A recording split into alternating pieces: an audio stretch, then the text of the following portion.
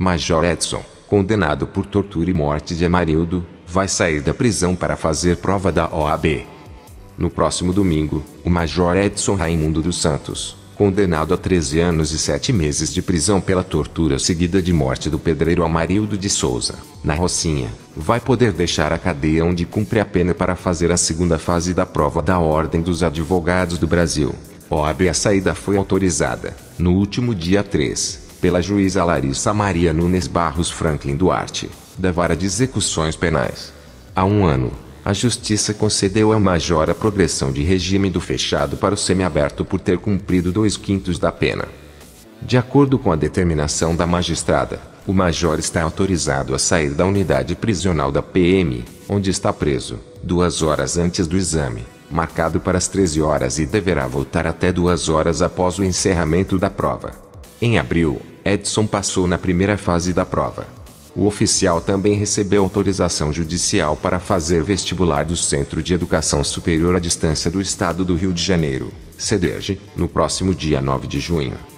No último ano, o Major também ganhou o benefício da visita periódica ao lar, VPL, da Justiça e pode deixar a cadeia na Páscoa, nos dias das mães e dos pais, no feriado do dia 12 de outubro e no período de Natal, entre os dias 24 e 30 de dezembro, respeitando-se o limite anual de 35-35 dias, hora divididos em cinco saídas de sete dias cada, de acordo com a decisão judicial.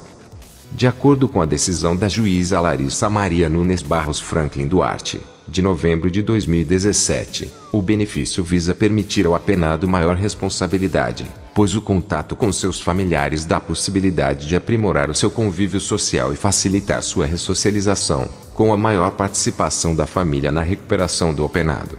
Para conseguir o benefício, o major mencionou o fato de ter uma filha pequena. Preso desde outubro de 2013, Edson até hoje integra os quadros da PM e segue recebendo salário. No último mês de abril, segundo o site da Secretaria Estadual de Fazenda e Planejamento, o major recebeu remuneração de R$ 11.428,71. Contra Edson, há um processo administrativo aberto que pode expulsá-lo da corporação. Edson também conseguiu diminuir sua pena fazendo cursos e trabalhando dentro do presídio.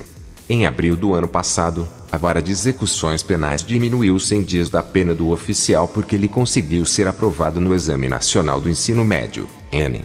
Em março, sua pena já havia diminuído em 170 dias por conta de cursos de MBA Executivo e Técnico em Segurança do Trabalho que concluiu na cadeia. Em janeiro de 2016, 12 PMs da UPP Rocinha foram condenados pela tortura seguida de morte e pela ocultação de cadáver de Amarildo. Edson, que era o comandante da unidade, recebeu a maior pena, 13 anos e 7 meses de prisão, por ser, segundo a Justiça, o mentor intelectual da tortura. Em junho de 2017, o major também foi condenado por corrempor duas testemunhas do processo. O corpo de Amarildo não foi encontrado até hoje.